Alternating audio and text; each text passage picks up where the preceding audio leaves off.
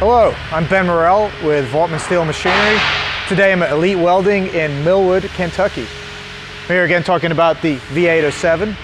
V807 is a machine that can essentially replace four machines, a drill, a saw, a robotic plasma, and a layout marking machine. Since the V807 is such a compact machine and it can do all those processes in one cell, they'll save a lot of space in your shop. As you know, shop space is valuable. Space is money. So we're at the in-feed cross transfers of the system and these are 16 foot long. If I break this first cross transport, it's only going to stop the actuation of the cross transports. So if the machine was running right now, it would continue to operate and use the x-axis motion as, as needed. Uh, if I break the second light curtain, the machine's going to continue to run, but when the x-axis movement is required, it will no longer utilize that function. It will pause until I have exited and safely pressed the reset button. Inside the V807 we have a roller feed measuring system. There's a lot of advantages to this system. Uh, whereas you might have a measuring truck on other machines, that requires you to wait for you to completely finish processing the piece that's in the machine and wait for it to retract before you can load your next piece.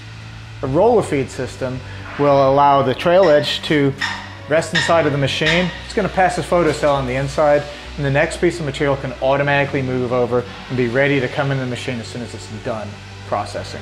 The 807 will accept up to a 44 inch wide profile, 18 inches tall, and up to 30,000 pounds. It'll in-feed up to a maximum rate of 200 foot per minute. It's going to come in and clamp the material, make sure it's up against the datum line.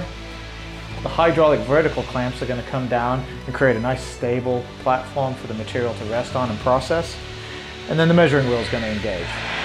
Once the machine is zeroed out, you're going to have a very accurate piece of material. What's accurate? That's around plus minus 1 32nd. The vertical hold down clamps are very important for lighter material. As lighter material comes into the operating space, the material has a tendency to, to move around in here when it's, when it's free of the rollers. So adding these hold down clamps will allow the robot when it comes into play to accurately measure and create nice, precise, clean cuts. Elite Welding has customers such as the Navy, and they require the best quality products. And that means that the edges of the material cannot have any deviations, any gouges or anything in them. So we, we offer a process that allows you to build in a little bit of waste in between each profile. And what's going to happen is it's actually going to pierce in the web and come back into the material. And that alleviates any issues with the cut quality on the edge of the material. So once the measuring wheels have uh, taken over, the material is going to move backwards and forwards in the X direction.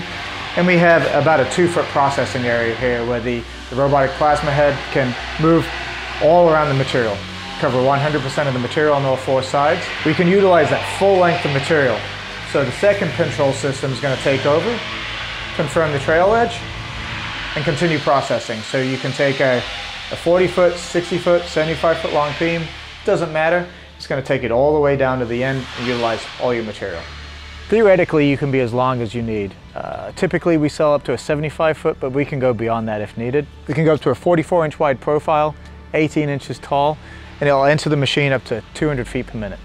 This product here helps illustrate how we perform the weld fit connection. So here we have a piece of flange that has already been removed between two products. The robot's going to come in and cut away the flange, fall into the web area. Once the operators remove this, the robot's going to come in, create the K area cut, and then it's also going to complete the common line cut. The machine is smart enough to know that there's a bevel on the plasma torch itself and it's going to split that bevel between the two pieces. You can see here this whole stack of material was completed using the weld fit connection and the common line cut connection.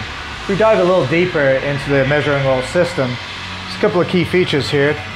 The, the measuring roll itself is going to automatically move up and down to the web or the heel of the profile to make sure you've got the best measuring surface. And should you have a piece of material that gets hung up somewhere in the system and the pinch slip, it does not throw off the actual measurement of the profile. If the slip exceeds a certain point, the system will automatically pause itself and ask the operator to check for any kind of collision. The V807 comes standard, the Hypertherm XPR 300, and Elite Welding is capable of doing all of that processing with the plasma torch from Hypertherm. For those fabricators that need to go heavier than the capability of the Hypertherm torch, we offer OxyFuel.